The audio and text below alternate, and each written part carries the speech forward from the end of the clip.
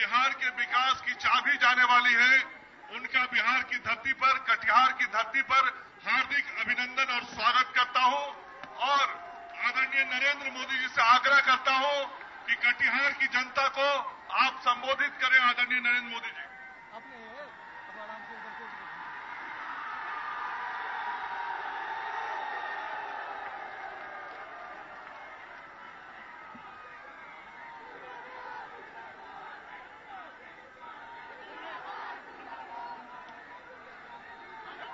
hello hello hello hello hello यार जाओ उधर यार हेलो हेलो भारत माता की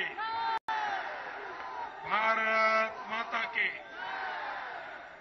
मंच पर विराजमान भारतीय जनता पार्टी के प्रदेश अध्यक्ष, भाई श्री मंगल जी, इस चुनाव में भारतीय जनता पार्टी के जनप्रिय उम्मीदवार और आपके सुख दुख के साथी श्री निखिल कुमार चौधरी जी, मंच पर विराजमान सभी आदरणीय विधायक बंधु, पार्टी के पदाधिकारी और विशाल संख्या में पधारे हुए भारत के भाग्य विधाता, मेरे भाइयों और बहनों, आपन लोग के नमस्कार। अपने संख्या में आयल छी। हमार दिल गदगद माइक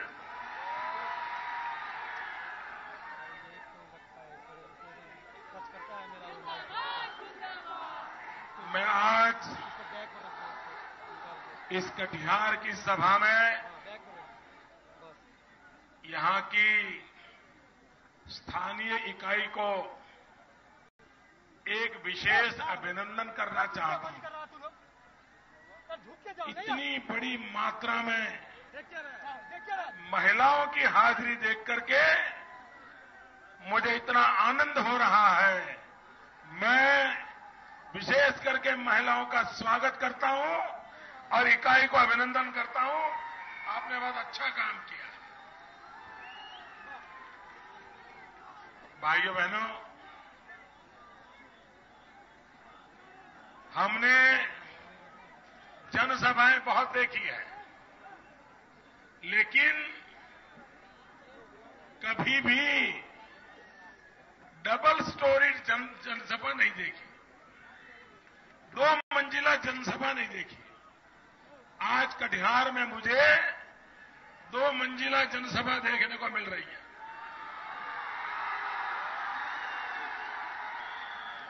एक सभा इस मैदान में चल रही है। और दूसरी वो इमारत पे चल रही है। भाई आप में से कोई गिर तो नहीं जाएगा ना? भाइयों बहनों है देश में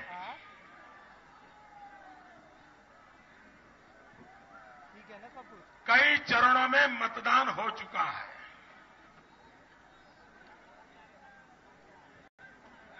अपने यहाँ भी कुछ सीटों पर मतदान हो गया है। भाइयों बहनों,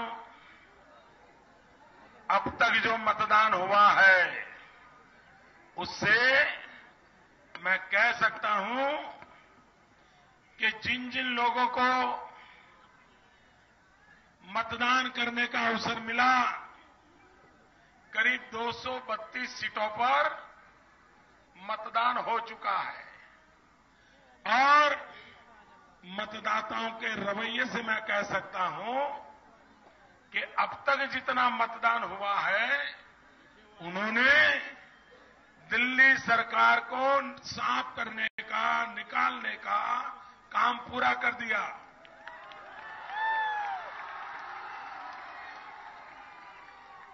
दो सौ बत्तीस वालों ने ही उनको विदाई कर दिया है। तो ये तो गए। अब माँ बेटे की सरकार गई। अब माँ बेटे की सरकार आपको बर्बाद नहीं कर पाएगी। आपकी ज़िंदगी खत्म नहीं कर पाएगी।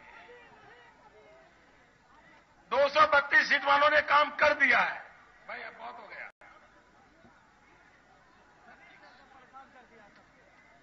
अब विदा लीजिए हो गया। भाइयों बहनों लेकिन अब जहाँ मतदान होना है उनका बड़ा महत्वपूर्ण काम है। दो तो बत्तीस वालों ने को घर भेज दिया।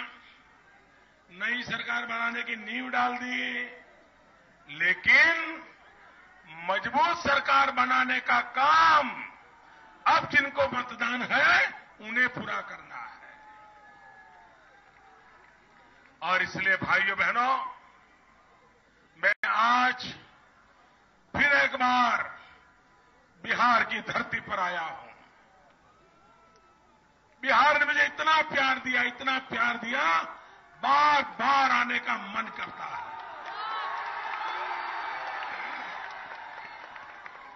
और आप देखना आपका यही प्यार है जो चुनाव जीतने के बाद भी मुझे बार बार यहाँ खींच के ले आएगा। भाइयों, बहनों, मुझे विश्वास है आपका ये रिश्ता, मेरा और आपका ये प्यार का संबंध अब बिहार के लिए मुझे कुछ न कुछ करने के लिए हिम्मत देगा। भाइयों बहनों, मैं हमेशा मानता हूँ कि भारत का विकास कुछ टुकड़ों में हो गया तो ये देश कभी महान नहीं बन सकता। ये देश कभी शक्तिशाली नहीं हो सकता। देश तभी शक्तिशाली होगा, देश तभी महान होगा जब उस हिंदुस्तान के सभी राज्य, सभी ज़िले, सभी गाँव ये जब मज़बूत होंगे तब जाकर के देश मज़बूत बनने वाला है। गुजरात आगे बढ़ जाए और बिहार पीछे रह जाए तो मेरा भारत कभी आगे बढ़ नहीं सकता। है और इसलिए गुजरात भी बढ़े, बिहार उससे भी ज़्यादा बढ़े तो मेरा देश मज़बूत होगा। हिंदुस्तान का पश्चिमी छोर आर्थिक गतिविधि करे और पूर्वी छोर इंतज़ार करे, ये स्थिति मुझे बदलनी है। मुझे ये हमारी भारत माँ की पूर्वी भूजा है। उड़ीसा हो, बिहार हो, आंध्र हो पश्चिम बंगाल हो, आसाम हो, नॉर्थ ईस्ट हो, पूर्वी उत्तर प्रदेश हो, इनकी सबसे ज़्यादा विकास की ज़रूरत है। यहाँ सबसे ज़्यादा रोज़गार के अवसर पैदा करने की ज़रूरत है। और इसलिए भाइयों बहनों, भारतीय जनता पार्टी ने अपनी घोषणा पत्र में बिहार जैसे राज्यों पर विशेष ध्यान देने का संकल्प किया है। भाइयों बहनों, ये धीरे धीरे बिहार की राजनीति से पर्दे खुलने लग गए हैं। पर्दे के पीछे क्या खेल चल रहे हैं? कौन किसके साथ है? कौन किसके गठबंधन में है? कौन गठबंधन करता है? और कौन पर्दे के पीछे गठबंधन करता है? ये सब अब खुला हो गया।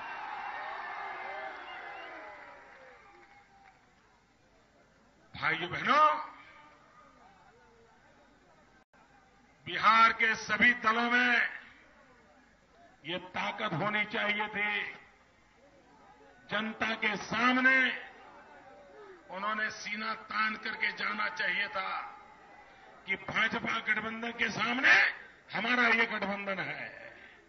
लेकिन वो हिम्मत नहीं है। और इसलिए पर्दे के पीछे अपने उम्मीदवारों को बिठा देने की चाल चली जा रही है, ताकि उनके राजनीतिक इरादे ठीक निकले बिहार के अपने आप को बड़े महान पॉलिटिकल पंडित मानने वाले लोग, जनता की नव पे अपनी उंगली है, इस अहंकार में जीने वाले लोग। वे सब कान खोल करके सुन ले। अब जनता आपको पहचान गई है। अब जनता आपकी बातों में गुमराह होने वाली नहीं है। अब बिहार की जनता ने देश का भविष्य बनाने का फैसला किया है। और इस बार देश का भविष्य बिहार बनाने वाला है।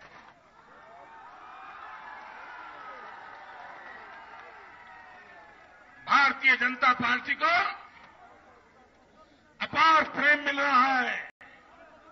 भारतीय जनता पार्टी के गठबंधन को अद्भुत सफलता मिल रही है। भाइयों बहनों, कांग्रेस पार्टी हताश और निराश हो गई है। पहली बार पूरा का पूरा आरएसवीपी, कोई निमंत्रण पत्रिका आती है ना? तो उसमें आप जाएँगे कि नहीं जाएँगे तो उसके लिए नीचे लिखा होता है आरएसवीपी यहाँ बताना कि भाई आप आने वाले हैं, नहीं आने वाले, ये बड़ी दुनिया में ऐसा चलता है, बड़े, पढ़े लिखे लोगों के यहाँ कुछ शादी ब्याह हो तो लिखते हैं आरएसवीपी आज हिंदुस्तान की राजनीति में भी ये आरएसवीपी का खेल चल रहा है। और कल अमेरिका के एक अखबार ने एक नया मॉडल प्रस्तुत किया।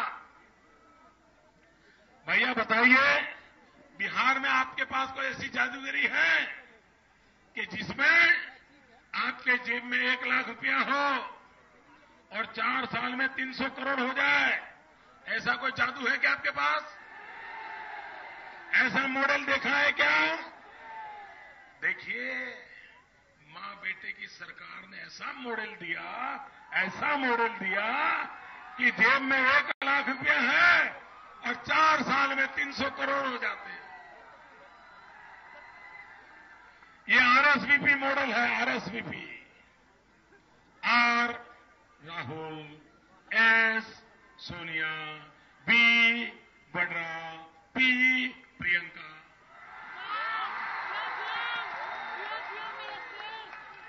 ये आरएसवीपी मॉडल है। राहुल जी, आप गुजरात के मॉडल की गाँव गाँव घूम के चर्चा कर रहे हो? अब देश को जानना है, ये माँ बेटे का मॉडल कौन सा है?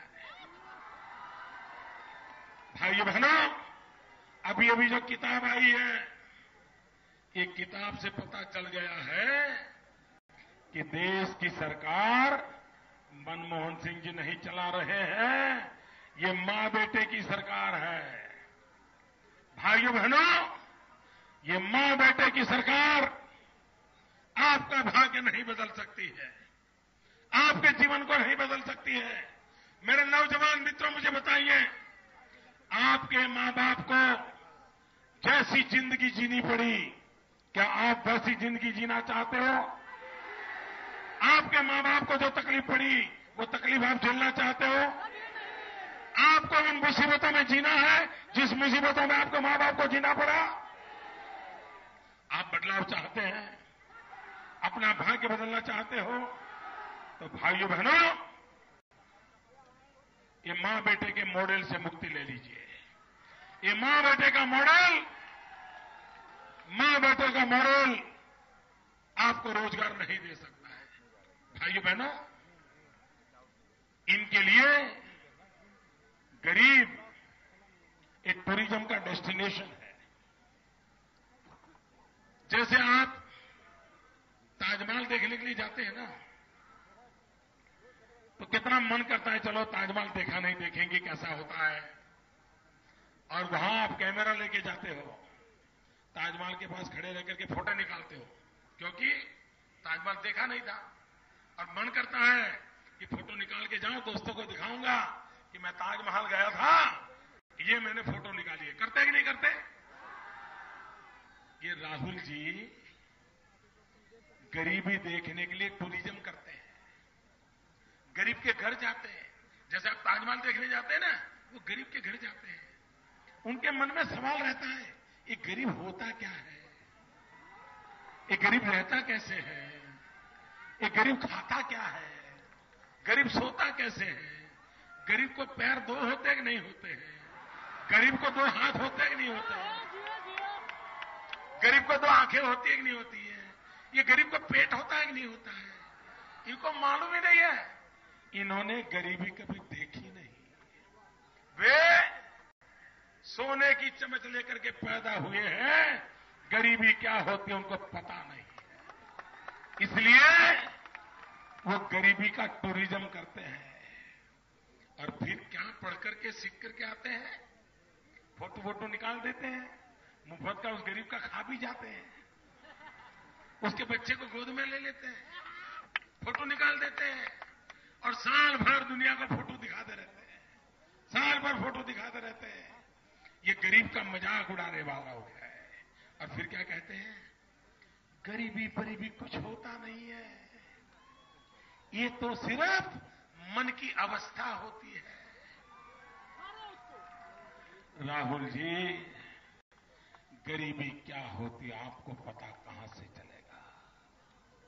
आप तो सोने की चमच लेकर के पैदा हुए हो।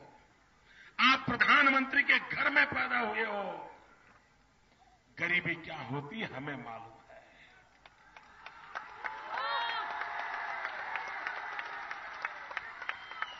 हम गरीबी में जन्मे हैं, हम गरीबी में पले हैं, रेल के डिब्बे में चाय बेचते बेचते पेट भरा है। रात को चूल्हा नहीं जलता था तो नींद नहीं आती थी, रात कैसे कटती थी, वो हमने बचपन में देखा है। माँ कितनी रोती थी, ये हमें पता है। आप हमें गरीबी सिखा रहे हो। आप ही की वजह से मेरे देश के करोड़ों करोड़ लोग दो टाइम पूरा खाना नहीं मिलता है। यह आपकी पाप, पाप, पाप के बदौलत है। और इसलिए भाइयों बहनों मुझे गरीबों के लिए कुछ करना है। मैंने गरीबी देखी है। ये जीवन अगर गरीबों के काम आए तो मेरे जीवन में इससे बड़ा कोई काम नहीं हो सकता। भाइयों बहनों मुझे आशीर्वाद दीजिए। मुझे आशीर्वाद दीजिए। भारतीय जनता पार्टी को आशीर्वाद दीजिए। सारे बिहार से भाजपा के सभी साथियों को विजयी बनाइए।